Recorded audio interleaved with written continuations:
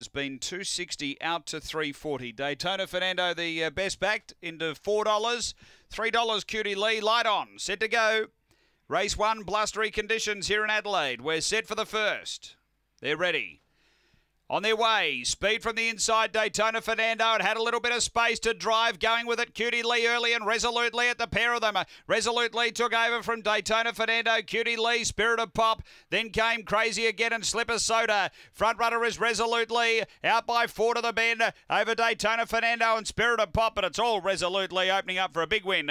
Resolutely takes the first by six. Spirit of Pop second, then Daytona Fernando, Cutie Lee. Next is Crazy again, Slipper Soda, and back at the tail is Daytona Fernando. The run is around 22 and 30.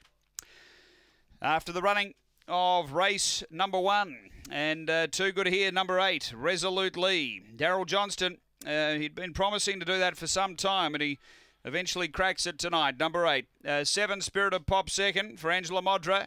And third going to one Daytona Fernando for Graham Smith. It's 8 7 1 5 fourth after the uh, first here at Angle Park.